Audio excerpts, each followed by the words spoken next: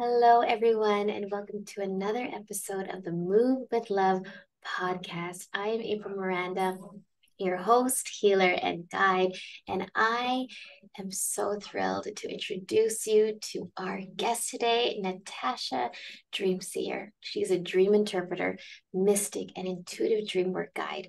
She's your North Star, guiding you through deepened self discovery, creativity, and divine connection to the power of your dreams and actual dreams. Please welcome to the show, Natasha.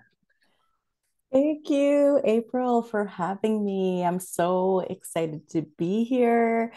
I love talking about dreams, and I know I've had a great connection with you. So I, am really looking forward to this. Oh, no, thank you for leaning in and saying yes. So please, just I want to start with your story. I want you to please share three major turning points that led you to where you are today and what you do today? So, this is something that actually I'm stepping into publicly uh, more recently. And it's something that I have been simmering on for a long time. Um, I grew up in a family of dreamers, but like vivid dreamers, uh, both my mom and my dad and especially my mother. And so dreams for us were always a conversation, things that we would unpack in the morning. Oh, I had this dream last night. And we would actually unpack and, and talk about it as though, you know, we were receiving messages. It wasn't just this sort of jumbled, you know, uh, sort of chaotic scenes of the day. It was actually discerning them as though they were messages or who did you speak to or who came to visit you which is quite common in the culture, but it was an ongoing dialogue with my family. And my dad is actually the first person that ever introduced me to the concept of out of body experiences. So um, it, it is something that was quite prominent. And so it felt very natural for me to the point that I didn't really recognize ever that it was a thing, that it was a something that I had the ability to tune into.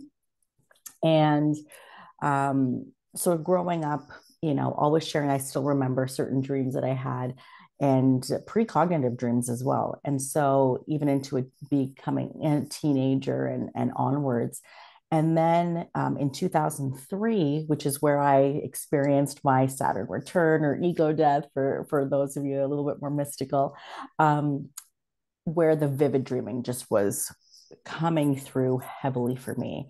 And then I quickly just naturally kind of gravitated toward dream interpretation. I started discerning them relatively quickly. And then I would kind of be the girl in the office that everybody would come to because I'd walk in in the morning and be like, you know, guys, I had this dream this morning. Oh, you know, like, uh, you know, so I'd always walk in with that conversation, like, geez, I had this dream. And then I would sit there and pack it. So I kind of became the default dream interpreter. And that has followed me for you know the last uh, couple decades. And so it's always a thing but i i didn't tune into it as being something that could be a mission or an offering into the world. And i reflect on that quite a bit now. And i think to myself it's because you know i was still growing and i'm still learning and i'm still discovering me and we still always are. Um, but it the ability to to discern dreams i think comes with a level of experience and wisdom. And i've stepped into um, that sense where i can feel confident actually being able to help other people uh, clearly discern their dreams. So mm, such a beautiful gift and offering. And I was just so guided to invite you into the show because what I understand is that it is the subconscious coming through us through symbols, through colors, through storytelling, through images. And um, so I guess with my, my question is with the the symbols that come through and your interpretation is it something that you channel is it something that you studied or do you kind of allow the interpretation to be of the viewer or the soul who experienced the dream? That's a great question. No one's asked me that yet. Um, and I would say all of the above because the thing is, is that you know we are part of a collective consciousness, right? So we have this knowledge that has been here and been around since time immemorial, right? Ancient civilizations and you know cultures have all i mean dreams to me are the starting point right? You know we're, we're living in a dream on some level. So um, we have a collective consciousness which we can tap into for that universal wisdom. And so 100% it is study. And then another percentage of that is there's a saying in the dream world which is the dreamer is the one the dreamer is the one that truly knows right? And so different symbol because here's where it gets kind of weird.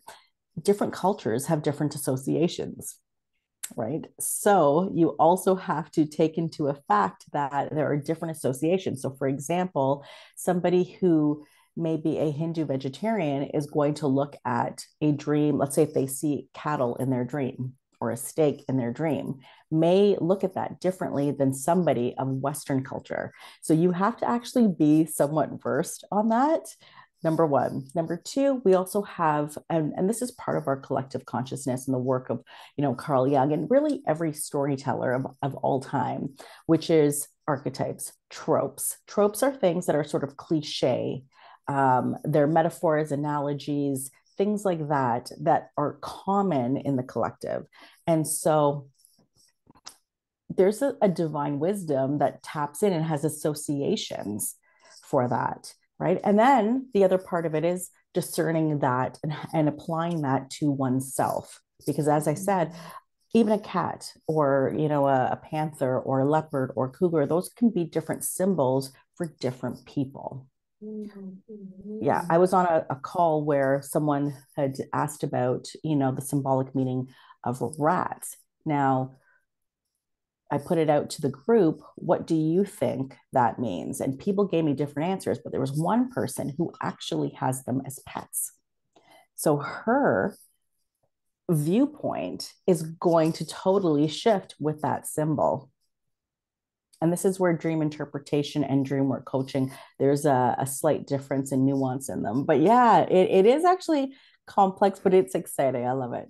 Oh my goodness. And when you um I guess I'm curious with how do mm-hmm. you guide with um the conversation or the coaching like you witness them or you interpret their dream and like is there a journey that you take them through or skills or like I'm I'm really curious with um the the how.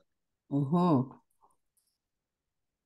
So I would say this is where the intuitive aspect of what I do comes through, the channel comes through, mm-hmm. because um, I, you know, I've done intuitive work with people for many years prior. And so, and just my natural tapping into that and trusting that um, is I'm able to simply tap into the energy of that person mm-hmm. um, mm-hmm. rather quickly. But if I had to rationalize it and things like that, um, I put out a video recently, which is the difference between a dream interpreter and a dream work guide, mm. which is a mm. dream interpreter is more like your foreign language film translator. So they're there to put the subtitles. They're just interpreting the symbology that you're seeing in the dream. And there's also some questioning, light questioning that I'll ask in dream interpretation.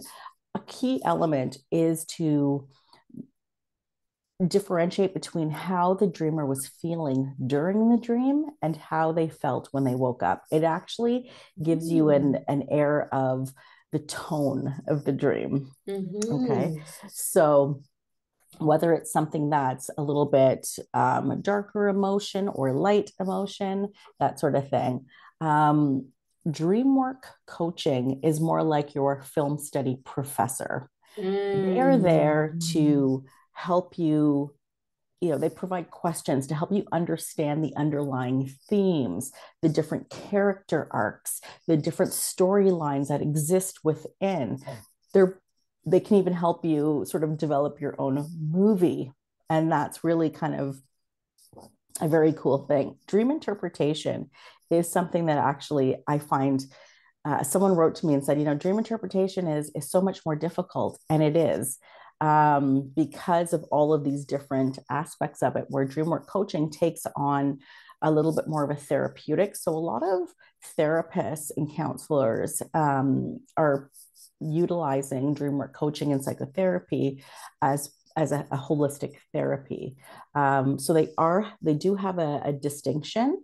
Um, mm-hmm both are super relevant and ideal, especially if someone dream work coaching is great for someone who is experiencing a lot of dreaming, um, is having a hard time making it make sense. Perhaps they're going through something or they're looking to really, you know, their spirit is at unrest and it's time for growth. And it's a great way to actually help them um, transition that growth. Recently, I had someone who wanted to stop the dreaming, and because it was so much that they were waking up tired all the time, and like, make this stop. And I took a different approach, which is we're going to lean into this because it's how you look at it. Some people can look at it as, you know, an annoyance while someone else is looking at it as a gift. And there are techniques to be able to, to, you know, sort of lean into that.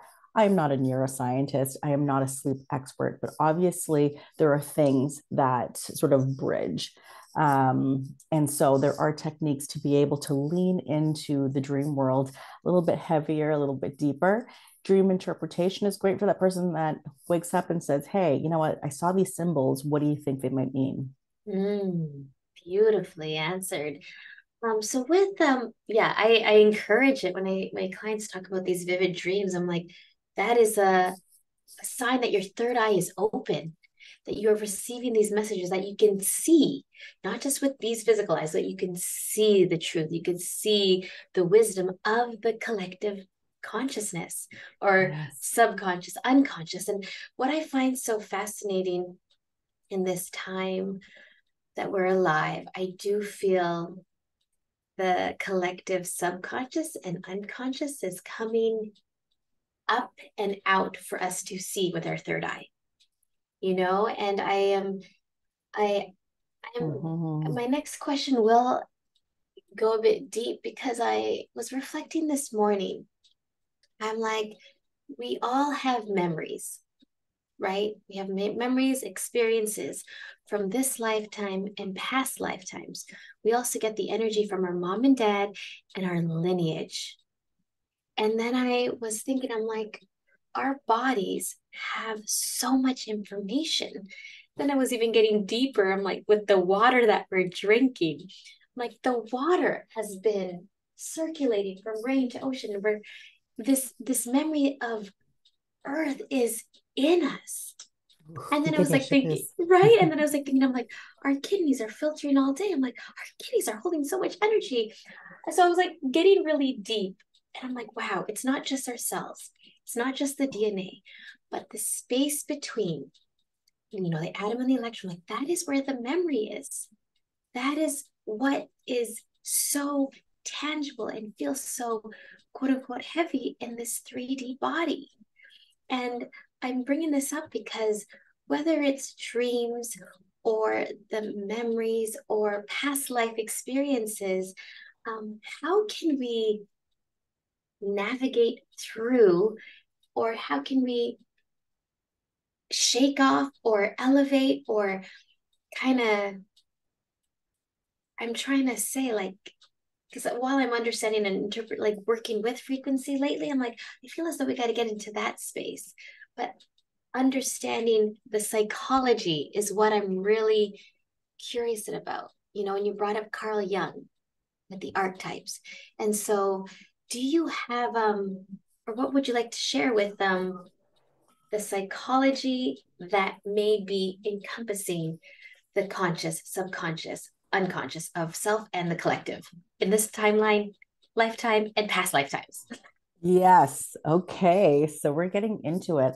That's a yes. great question. And i mean there's so many different layers to dream interpretation dream analysis and really tapping into the untapped potential of our subconscious and our super conscious. So I'm going to bring that in because I think that's what you're actually, there's a whole other level of consciousness. And you're right, mm-hmm. all of this stuff that's embedded in our cellular memory and these codes that are in there and then everything has this, right? They are lifetimes and recirculating and, and this energy. And then we've got combinations of the things that are happening in the world. And then we've got things that are happening within our own world, our relationships, our, our children are this, um, and then workplace environments and the interactions there. So we are divinely designed to be able to handle so, so, so much. And I think with all of these things, it allows us to stretch our capacity to be able to hold even more as we move through and add to the collective consciousness for the future.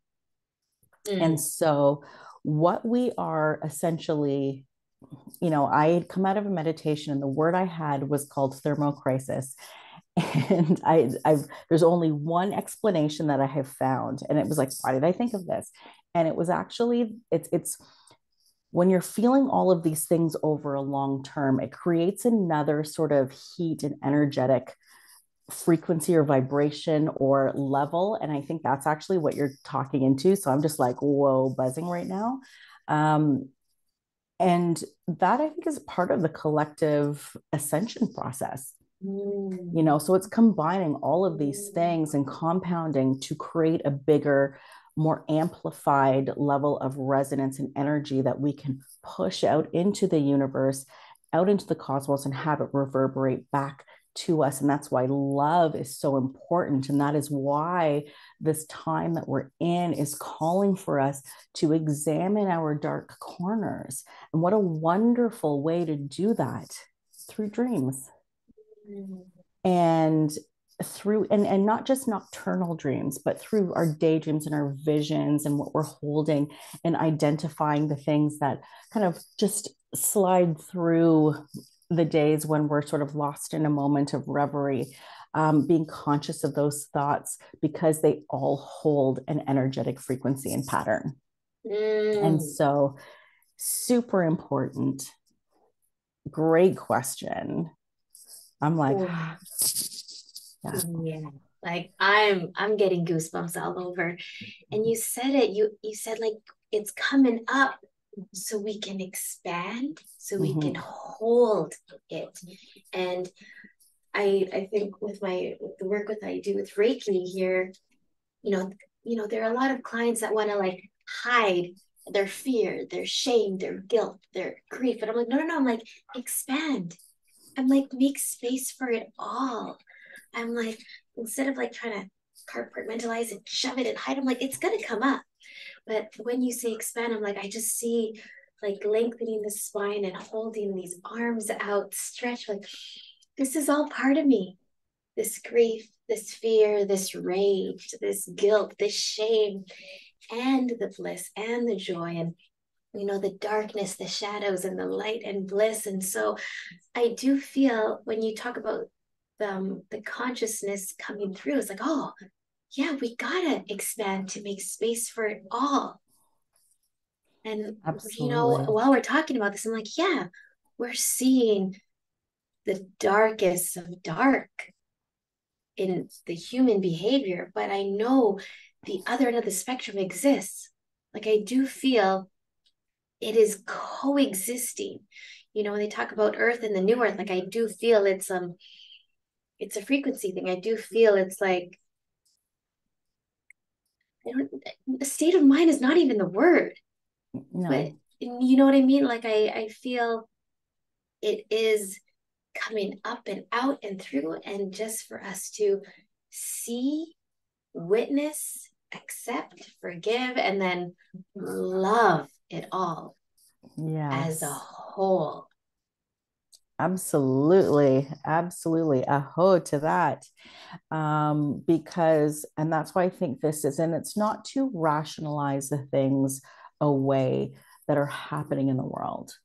Um no it's when we have to examine our dark corners we have to understand that we're examining the wholeness of us when we do that and that we exist in a totality. And if you don't address the grief and the sadness and things like that, it's not to banish them, but it's to acknowledge them and be able to transmute that energy into a light form that will positively allow you to radiate love and mm-hmm. love and how we love is really what I believe is the legacy of all of us humans that are here because energy can't be destroyed. I mean, you work with energy quite a lot, so you know this, but energy can't be destroyed. So we are energetic beings. And so long after we got, we're gone, our energetic imprint is left behind to be added to the collective for the expanding consciousness for the the generations forward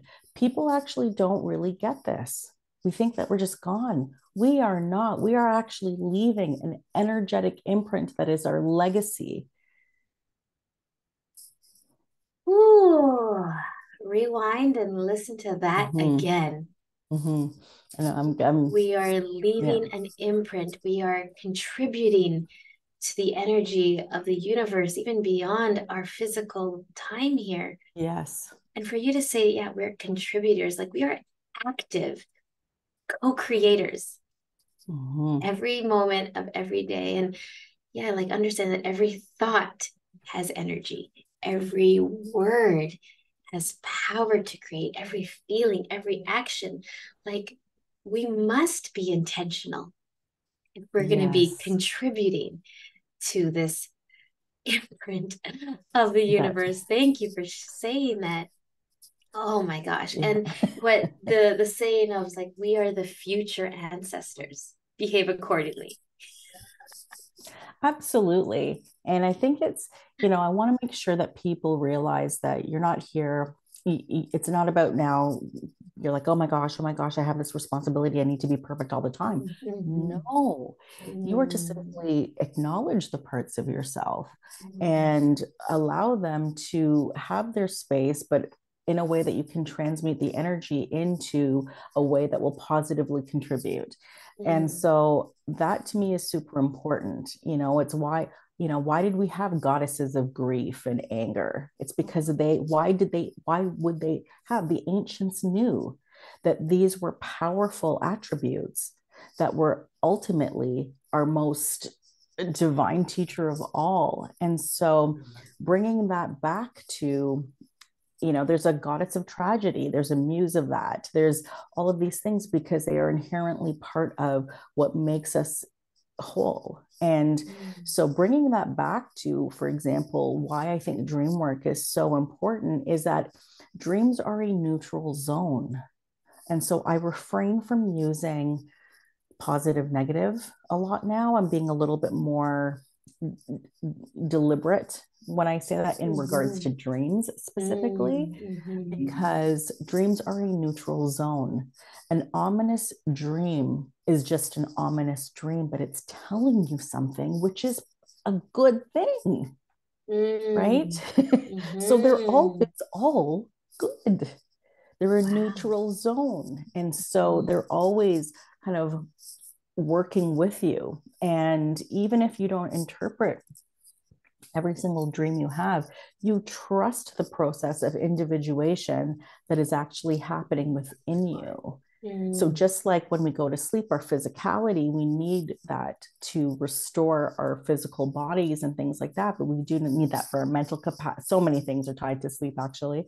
Um, but your dream sleep, you know, is super important as well because, you know, if you're not processing and and doing the things that you need to do then how does that affect you on a physical level and the hormone level and all of these kinds of things? Mm-hmm. But carl jung said you know listen it, the process of individuation is going to happen.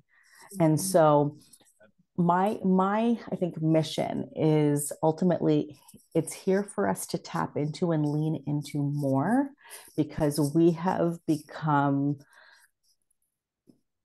complacent with dreams we have become we have been made to feel that dreams are just this random day of netflix binge watching and random thoughts that just kind of you know are like static in our minds versus these incredible opportunities for creativity problem solving um, divine connection mm-hmm. that royalty ancestors you know of every single you know lifetime and timeline has actually tapped into dreams is what has made all of this happen So there should be no question as to its potency.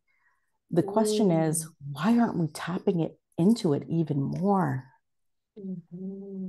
And that's where I'm I'm like, if it's there, if it's something that you're working with, let's tap into that a little bit more.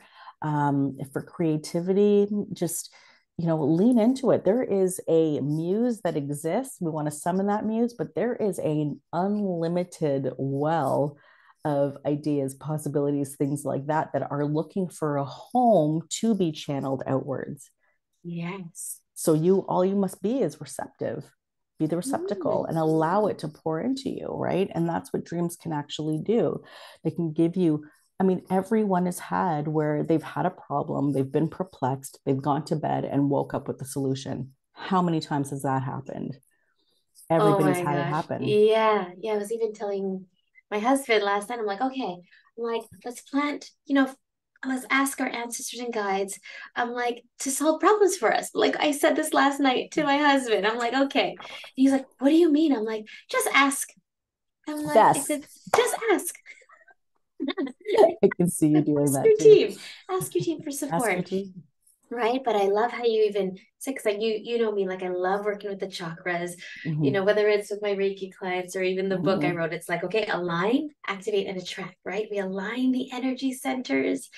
And then like, you know, there's different practices to open all that up. Yeah. But then to you know, eh, like receive the downloads through your crown chakra, see it with your third eye, write it, speak it out with your your throat chakra, feel it. Like that's the juicy part, and then take that inspired action, and then incubate it for the divine timing, and then you receive, right? Like so that's yeah. the secret sauce. But we are connected to this information field that is infinite, and we are the vessels that will bring it earthside.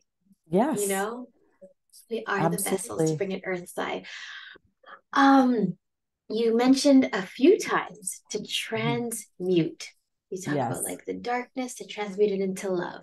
And you know, I with the name of the podcast and everything that I stand for, like moving with love and not fear.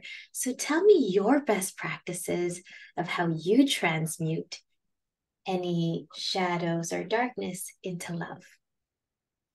So for me, you know, some people do it with somatic practices, and that's something that I'm leaning into more and more and more. I'm I'm a little bit more too much almost in my head, um, a little bit more cerebral, and so I mean, I meditate heavily. Um, that's been my for the last 20 years.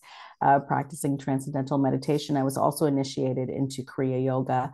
Um, so that's been a practice that I've had since that since 2007, actually. Um, and so you know, and then now, of course, breath work and all of these modalities. But I love creativity, mm-hmm. not for it to be, not so that you must gain something monetarily necessarily. Create to create, to create and allow it to move. And if you look at the great artists that we've had, whether musicians, writers, um, you know, visual artists, they take their pain and some of their best work comes out of it. That's a transmutation mm-hmm. of energy. So for some people it might be movement and dance right? I know you're a dancer right? It, it may be you know seeing uh, you know a reiki practitioner to help you if somebody is stuck. Like i absolutely believe that. Um, for me i really love creativity and mm-hmm. in whatever form. So it's something that I really lean into heavily. Your journaling practices, of course, there's so many things there mm-hmm. uh, to just rage out on the page, right? The, you know, mm the uh, morning pages, which is a, a great practice from the artist way. So there are multiple different tools and that's why i do all the things really mm-hmm. i mean you know even my essential oils or something that just you know i i sit with my plant allies my crystal allies mm-hmm. i have a mm-hmm. moment um, whether it's in the middle of the day and maybe i need to do some box breathing but writing poetry was something that um, was really big for me in 2022 um, and into the beginning of 2023, mm-hmm. which is I was going through and really understanding my darker shadows. And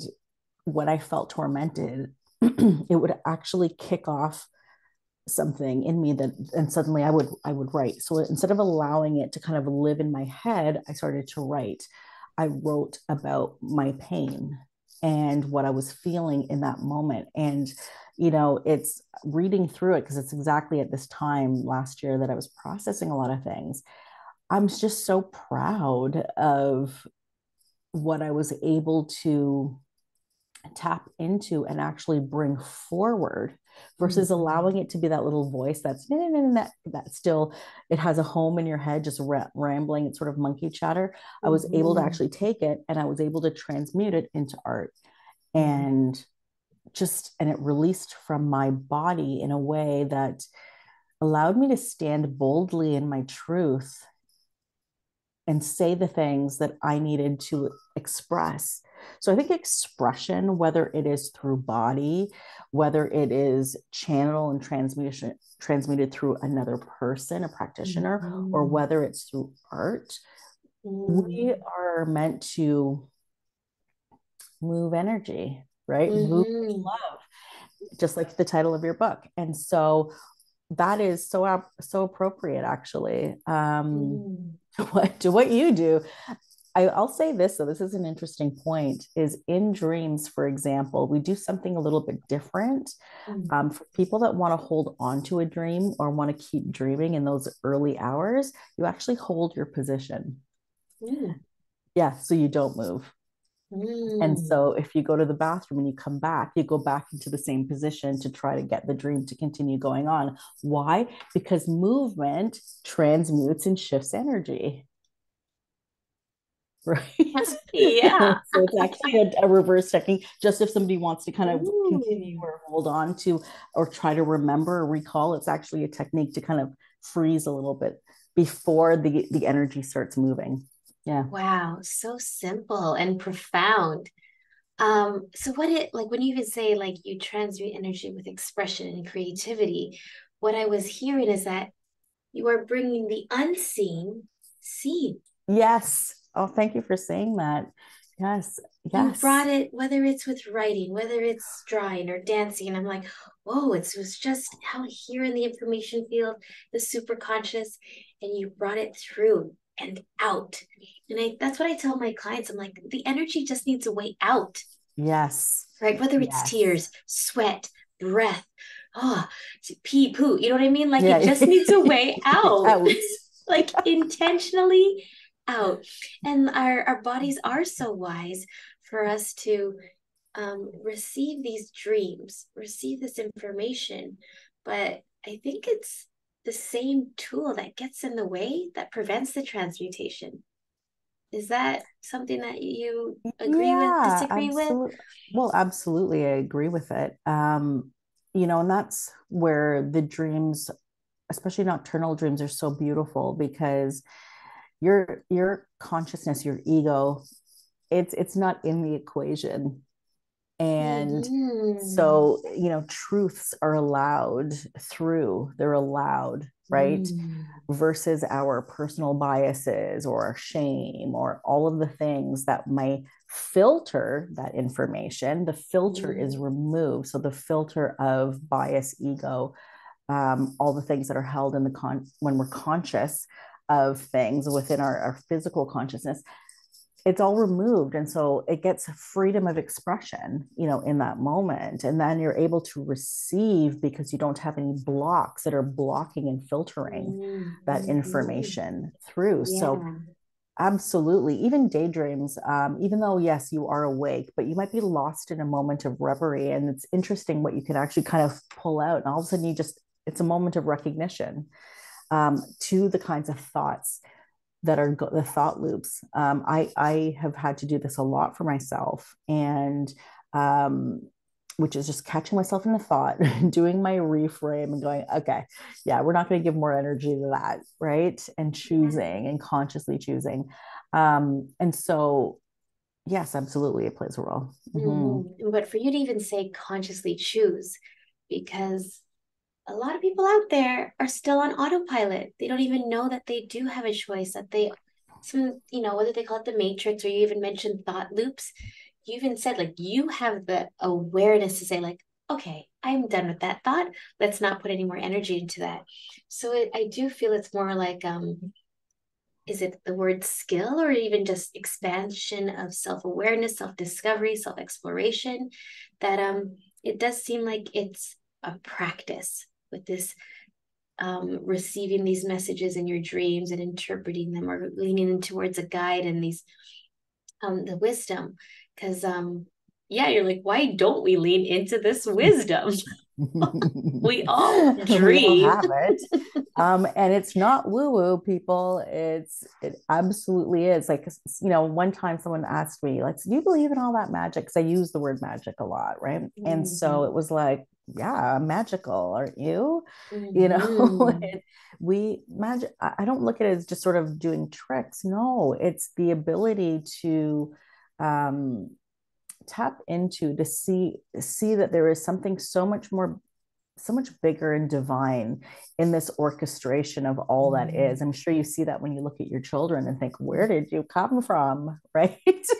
or when I look at, for example, animals and all the variety, like I do it, like I see God in animals, right? I see yeah. God in, in, flowers and I see ah. that, those things because I'm just like, how the heck? Talk about level of creativity. Whoa that's creativity right there. Mm-hmm. There has to be, you know, something, another sort of benevolence to all of this. This just can't be. It's so beautiful. Oh. Um, the fruits we eat and all, uh, just like it blows my mind, right? So we, I, and I know you, you look, you know, we both look at things through a mystical lens. So mm-hmm. that might be easy for us, but for anybody else that's kind of going, you know, this is you know this sounds great but like you know where's the science or where's the you know where's the logic and things like that? What i say is simply suspend all of that.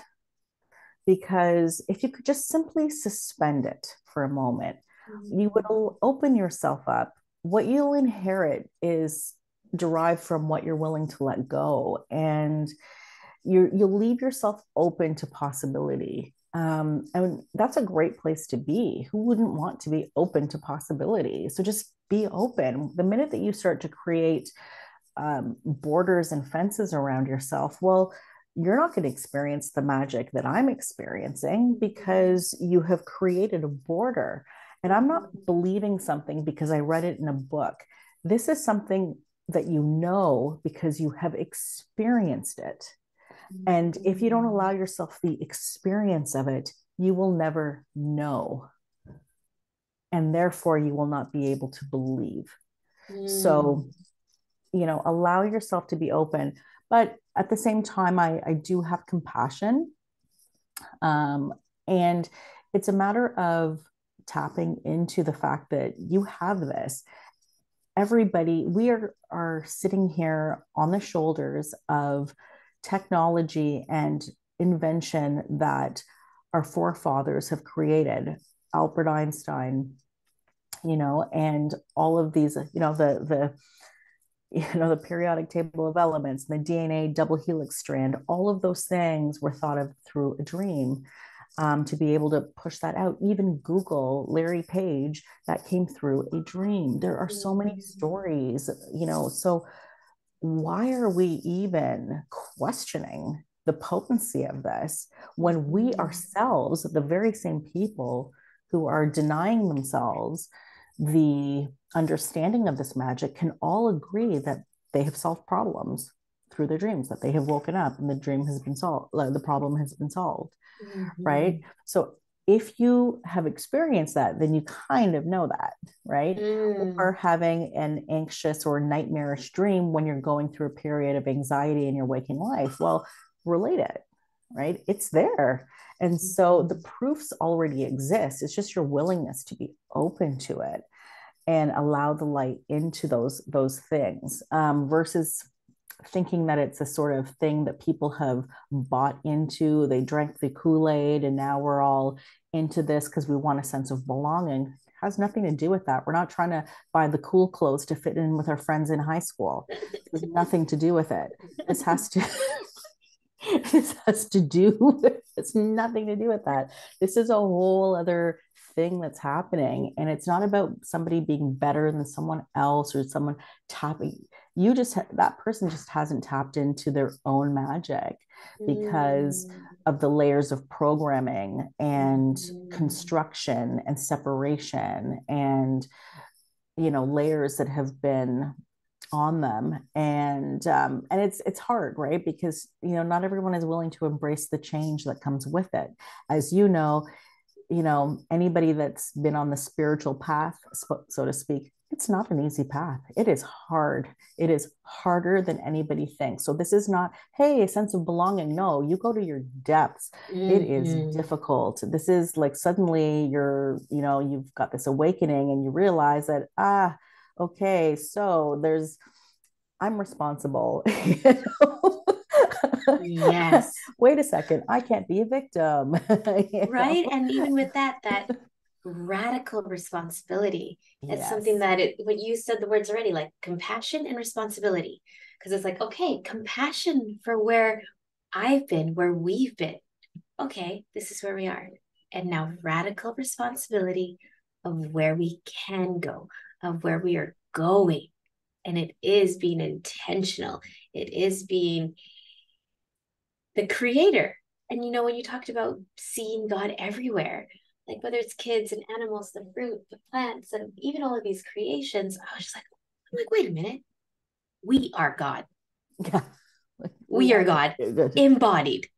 Absolutely. We are actually God in this physical form, but you, you know, we, I'm like, wait, you're God and I'm like, we got work to do. I'm like, I'm like, oh, I'm sorry, I forgot. Like, I actually was writing this in my morning pages this morning. I'm like, wow, I really forgot. But like witnessing my kids, and it's like a remembering and reclaiming, mm. remembering that we are whole and complete and love, reclaiming that we are here to experience, to enjoy. Like I look at my kids, I'm like, oh, they deserve the world. I'm like, wait, I deserve the world. It was like, like the way it is like whether it's inner child healing, but it's like seeing the mirror or seeing the the holograph. Is that what people are saying? Like, oh, this I can't even describe it. Yeah. Yeah. You know what I mean? But I'm like, I do. Yeah, like namaste, the light in me sees the light this in you, or bows down. Yeah to the divinity in you that's in the divinity in me. I'm just, but it was like, oh yeah, we are God embodied. So these dreams are like messages or the answers or the solutions that want to come through us through expression, yes. through creativity to bring they are here. This is, you know, the opportunity for people. Like if if I said to them, would you like to speak to your highest self? Would you like your higher self to speak to you? Everyone would say yes. Mm-hmm. Well, guess what? It does in your dreams. If people that want to, you know, multi-dimension or mm-hmm. be part of this sort of multiverse or, you know, the holographic universe, and they want to kind of timeline jump between these different realms, guess what? Dreams can do that. Mm-hmm. You can actually access different environments in different lifetimes and you talked about that earlier i mean i have something that i talk about which is psychic flashbacks where a lot of women actually get them where it might have been some sort of persecution or something that might have happened in the ancestral lineage mm-hmm. Right and then we'll get it as a sort of dream and it's like whoa there are different types of dreams that have been documented. And so there's enough of these out there that we know that this exists, but you can access, you know, our subtle body is actually accessed while you go into that dream state and we move into an astral or out of body experience. Mm-hmm. Even a mm. sleep paralysis can actually be flipped into a lucid dreaming episode or into an astral travel episode. So we have our physical body, but we also have our subtle body, mm-hmm. our spiritual mm-hmm. body, right? And we can access those through the dream state. It's powerful. Oh my gosh, I could talk to you about this all day. I know, I could talk to you all day. oh my goodness. I'm like, there. I'm like, let's I'm like, that's another episode, and that's another episode. Like you were just dropping terms like, do people even know what this is? But like, I guess those listening to just lean in and stay curious. Natasha yes. said it to just be open and receive. Just be open and receive and see what comes through. Um, Natasha, what does move with love mean to you? Ooh, move to love means with me, I just immediately got this visual of just moving in the world with love, mm-hmm. moving in the world in the way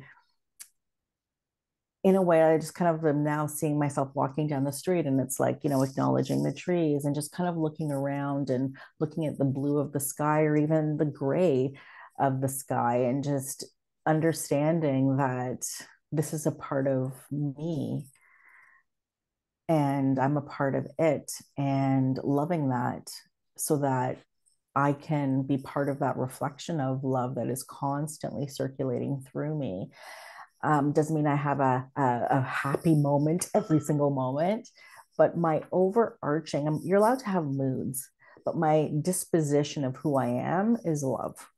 Mm. And that, so moving through the world with love. Thank you for sharing. Um, where can our audience find you?